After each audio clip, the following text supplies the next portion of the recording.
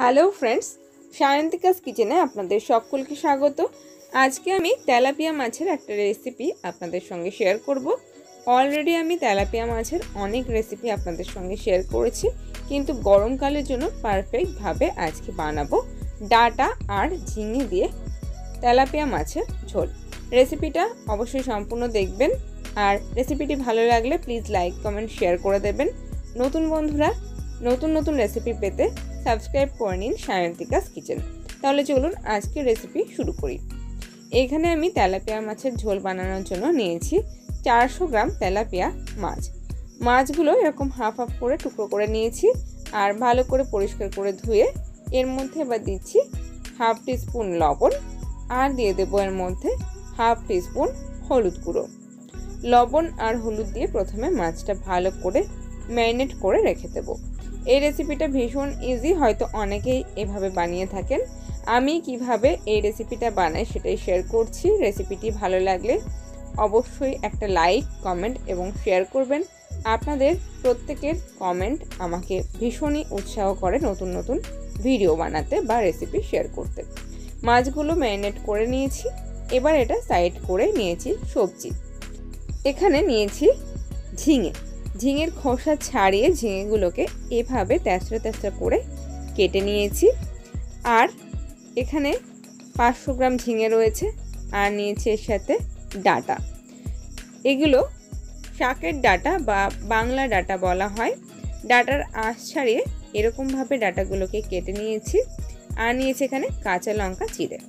রান্না শুরু করার জন্য একটি পাত্রে দিচ্ছি five tablespoon refined oil চাইলে এখানে কিন্তু আপনারা সর্ষের তেলে করতেই পারেন রান্না। তেল ভালো করে গরম করে স্প্রেড করলাম। এর মধ্যে এবার ম্যারিনেট করা মাছগুলো দিয়ে দিচ্ছি। একবারে যদি সব মাছ ভাজা হয়ে যায়, তাহলে একবারে সব দিতে পারেন। এখানে আমার পাত্রটা বড় আছে, সে কারণে আমি সব মাছগুলো দিয়ে দিলাম। এবার মাছগুলো দিয়ে একটু অপেক্ষা করে তারপর মাছগুলোকে উল্টে দিচ্ছি। মাছগুলো খুব ভালো করে কিন্তু ভেজে নেব। গ্যাসের ফ্লেমটা রেখেছি মিডিয়াম টু হাইতে। এভাবেই মাছটা ভেজে নিচ্ছি। একটা সাইড ভাজা হয়ে গেছে, এগুলো আমি উল্টে পাল্টে দিচ্ছি। এভাবে ভালো করে মাছটাকে ভেজে নিলাম। এবার মাছ ভাজা হয়ে গেছে। এই মাছ ভাজাগুলো একটি পাত্রের মধ্যে আমি তুলে রাখছি। এই তেলের মধ্যেই রান্নাটা শুরু করব। এর আগে আমি তেলাপিয়া মাছের অনেক রেসিপি কিন্তু আপনাদের সঙ্গে শেয়ার করেছি। যদি না দেখে থাকেন, এই ভিডিও শেষে আমি ভিডিও প্লেলিস্টে অ্যাড করে দেব। আপনারা চাইলে অবশ্যই ফিশ রেসিপিগুলো দেখতে পারেন। এই তেলে দিচ্ছি এবার মেথি ওয়ান ফোর স্পুন মেথি ফোড়ন দিয়ে এটাকে নাড়াচাড়া করছি। একটু লালচে হয়ে আসলে এর মধ্যে এবার দিয়ে দেব ডাটা।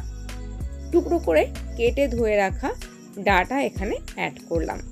এখানে এই বাংলা ডাটাগুলোর কচি যে ডাটাগুলো সেগুলোই আমি ব্যবহার করেছি। ডাটা দিয়ে তেলের মধ্যে নাড়াচাড়া করে নিলাম। এবার এটাকে লবণ না দিয়ে এভাবে একটু ভেজে নেব। প্রথমে এভাবে ভেজে নিয়ে দু মিনিট পর এর মধ্যে ঝিঙেটা অ্যাড করলাম। পাঁচশো গ্রাম এখানে ঝিঙে রয়েছে। আপনারা চাইলে কিন্তু ডাটা বা ঝিঙের পরিমাণ কম বা বেশি দিতে পারেন। এবার ভালো করে তেলের মধ্যে এটাকে নাড়াচাড়া করে এর মধ্যে এবার দিচ্ছি স্বাদ মতো লবণ, আর দিয়ে দিচ্ছি ওয়ান ফোর স্পুন হলুদ গুঁড়ো। লবণ আর হলুদ গুঁড়ো দিয়ে ভালো করে মিশিয়ে নেব, আর এভাবে এটাকে ভাজতে থাকব। এখানে লবণটা আগে দিইনি, কারণ ডাটাতে যদি লবণ দেওয়া হয়, ডাটাটা আগেই লবণটা টেনে নেয়, সেক্ষেত্রে লবণ অনেক সময় বেশি হয়ে যায় ডাটাতে। এই সময় দিয়ে দিলাম আটটা চেরা কাঁচা লঙ্কা। আপনারা কিন্তু ঝাল অবশ্যই নিজেদের স্বাদ মতোই দেবেন আর লবণটাও। এগুলো দিয়ে ভালো করে নাড়াচাড়া করে এটাকে ভাজতে হবে যতক্ষণ না এটা নরম হচ্ছে। এটাকে এবার ঢাকা দিয়ে আমি রেখে দিচ্ছি মিনিট পাঁচেকের জন্য মিডিয়াম ফ্লেমে। ঝিঙে থেকে দেখুন অনেকটাই জল বার হয়েছে। এবার ঢাকনা খুলে এটাকে মিডিয়াম ফ্লেমে ভেজে নেব। এর মধ্যে এখন আর কিছু অ্যাড না করে এটাকে আরও একটু ঢাকা দিলাম। ঝিঙে থেকে আবারও কিছুটা জল শুকিয়ে এসছে আর ঝিঙে আর ডাটা দুটোই কিন্তু সেদ্ধ হয়ে গেছে। এবার এটাকে মিডিয়াম ফ্লেমে এইভাবে নাড়াচাড়া করে ভেজে এই জলটা টেনে আসলে এর মধ্যে দিয়ে দিচ্ছি পরিমাণ মতো জল। এইখানে ঝোলটা কিন্তু একটু পাতলায় ভালো লাগে মাছের ঝোলটা, সেই জন্য আমি এরকম পরিমাণ জল দিচ্ছি। আপনারা চাইলে আর একটু বেশি বা কমও দিতে পারেন।